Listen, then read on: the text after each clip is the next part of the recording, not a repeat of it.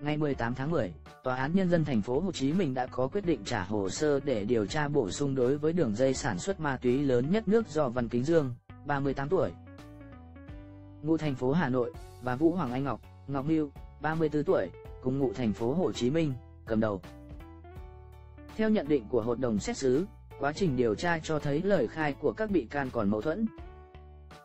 Cơ quan điều tra chưa làm rõ số lượng ma túy mỗi bị can phải chịu trách nhiệm, cũng như chưa làm rõ tội danh của một số bị can. Vì vậy hội đồng xét xử quyết định trả hồ sơ về cho Viện Kiểm sát Nhân dân thành phố Hồ Chí Minh để điều tra bổ sung, làm rõ vụ án. Trước đó, Viện Kiểm sát Nhân dân thành phố Hồ Chí Minh đã truy tố các bị can Văn Kính Dương, Lê Văn Mang, 31 tuổi, Nguyễn Đức Kỳ Nam, 50 tuổi. Vũ Hoàng Anh Ngọc cùng 6 đồng phạm khác về tội sản xuất, mua bán và tàng trữ trái phép chất ma túy.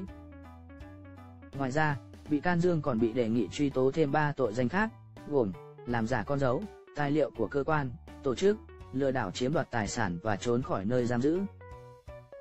Theo hồ sơ vụ án, hồi năm 2008, Dương bị Tòa án Nhân dân quận Hoàn Kiếm, thành phố Hà Nội, tuyên án 5 năm tù về tội cướp giật tài sản.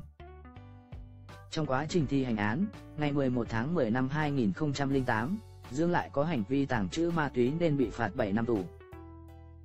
Nam thanh niên bị gắn tại nhà giam K1, trại giam của công an tỉnh Thanh Hóa.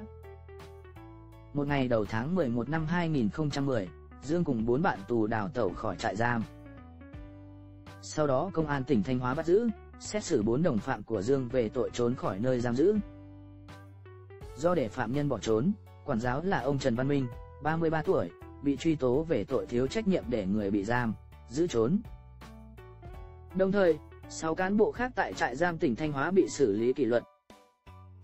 Một mình bỏ trốn thành công vào thành phố Hồ Chí Minh, Dương lấy tên giả là Trần Ngọc Hiếu rồi thuê căn hộ, chiêu mộ đàn em để sản xuất rồi mua bán ma túy.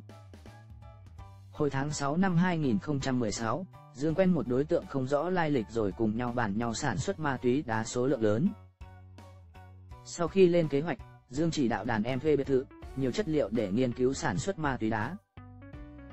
Nhóm này thường xuyên thay đổi xưởng sản xuất từ thành phố Hồ Chí Minh ra thành phố Nha Trang, Khánh Hòa, rồi về tỉnh Đồng Nai rồi xóa dấu vết để tránh bị nhà chức trách phát hiện. Nhận được tin tố giác, Công an thành phố Hồ Chí Minh và Công an quận Bình Thạnh đã theo dõi và cất lưới tóm gọn băng nhóm này. Kết quả điều tra cho thấy băng nhóm do Dương cầm đầu đã sản xuất thành công 120 kg ma túy đá, tiêu thụ chót lọt 18 kg thuốc lắc. Ngoài ra, nhà chức trách còn thu giữ 2,6 tỷ đồng và 10.000 đô la Mỹ cùng nhiều tài sản có giá trị tại xào huyệt của chùm ma túy.